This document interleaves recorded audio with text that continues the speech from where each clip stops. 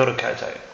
I'm Sean from the uh, from 2040 Limited, and today I'm going to talk to you about the uh, browse interface for the Cacophony thermal camera.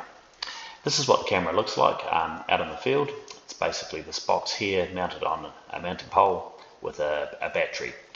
Uh, you put it wherever you want to see um, and monitor your predators.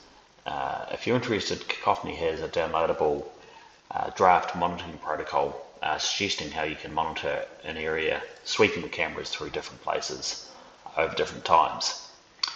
Now when the camera's in the field, um, this graphic sort of shows how the videos are retrieved from the camera and uh, stored. So uh, if the camera has a connection, it will directly upload the videos via modem or, or even Wi-Fi um, to the Cacophony servers. Um, if it doesn't, it will store the videos on the camera and you can upload them um, using a phone app called Cacophony Sidekick, which will pull the videos off the camera and then when you get your phone into reception, it will upload the videos with all their time and date stamps and geolocations um, up to the Cacophony servers. You also use the Sidekick app to configure the camera to, to set the location and so use it as a viewfinder so you can um, adjust the camera when you're setting it up. Now, when you um, when the video is uploaded to the Cacophony servers, you use the Cacophony browse, uh, the Cacophony portal to view your videos, and that's what I'm going to demonstrate to you today. So when you log on to the portal, this is uh, what you see. Um, something like this. We see a list of all the different videos that um, have been recorded, uh, along with uh, the time and place, the name of the camera, um, what the uh, tags are for the videos. Uh, so the machine vision runs on the cloud and will tag what animals it thinks are in the videos. And you can also add your own tags. So here there's a rodent, a hedgehog, um, a question mark, etc.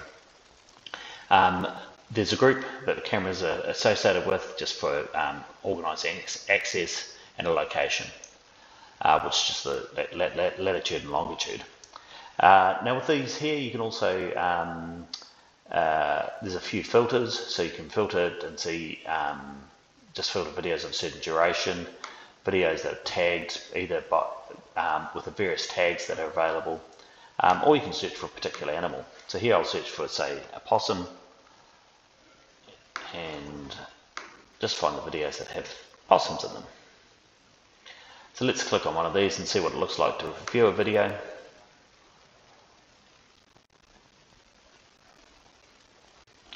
And here you can see that we it is indeed a possum. Now, um, you can help out the machine learning by tagging um, what you think that animal is just by clicking on one of these. And this will then give us some information that we'll use to improve our machine learning algorithms. You see this has turned green to say that um, your tag agreed with the AI. Now on this uh, video you can um, add labels um, uh, you can add your own sort of comments in here. You can download it if you want to share the video, um, or you can delete it if it's something you don't want to store. Uh, so that's a pretty easy way of viewing the videos. You just uh, sit on your computer and you can see what's happening.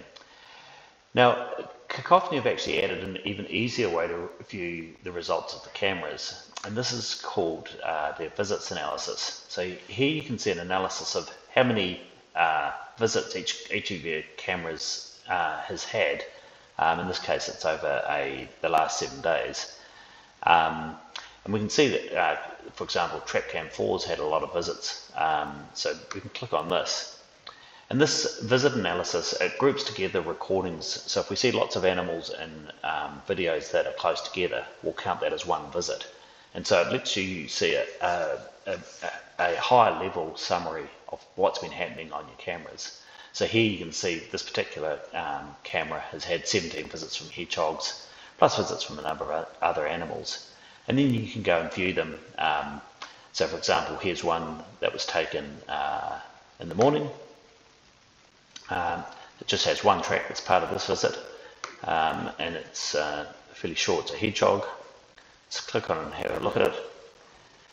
And it looks like um, this is a trap here uh, a trap with a cage at the back. The hedgehog is um, in the cage at the back of the uh, trap. So you, it needs to be go uh, cleared, that particular trap. So there you have it. That's just a very brief overview of how the browse functionality works um, for the Cacophony cameras. Um, these cameras are available to purchase uh, from the 2040 website um, at 2040.co.nz. You can also rent them if you'd like to try before you buy. Thank you very much.